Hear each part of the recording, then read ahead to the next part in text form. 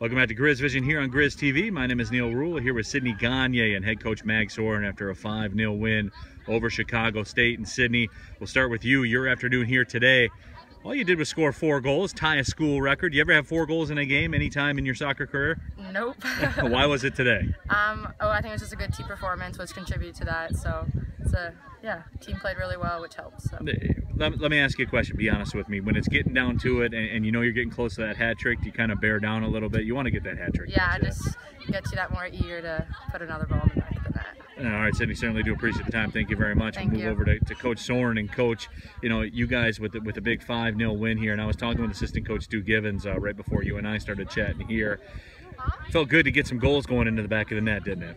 Yeah, definitely. I think it took us a little while to get going. Um, I mean, it's only 1 0 at halftime, so um, you know we we had a word with the girls uh, at halftime uh, in preparation for the second half, and we knew that we had some opportunities in the first half that we really wanted to put away.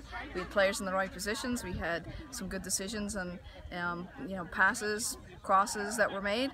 And um, and unfortunately we didn't put it in the back of the net. You know we hit a couple wide and and uh, we changed that obviously in the second half. We just a little bit more focus in the final third and and certainly you know Sid Gagner's uh, four goals were fantastic today. Um, she's fantastic at penalties. So when we got the penalty kick, she was um, going to be the one to, to put that away. And, and I think she obviously everybody's delighted for her to get the hat trick. Um, but you know it was, it was a good team performance as Sid mentioned. A lot of players got a lot of minutes. We moved the ball pretty well, especially in the second half, and, and created a lot of opportunities.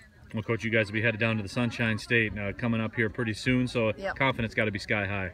Yeah, you want to feel good after you know the weekend. We played a tough match on Friday night, and, and certainly came into this game, um, you know, knowing that w- that we could uh, that we could keep the ball, you know, uh, which we didn't do a good job of on Friday night. We did that, and we did that well today. So we'll be looking to continue to improve that when we head down to Florida. They're a very strong side, have had some really good results lately. So you know, this will certainly springboard us and give us a lot of confidence and belief heading down for that tough game.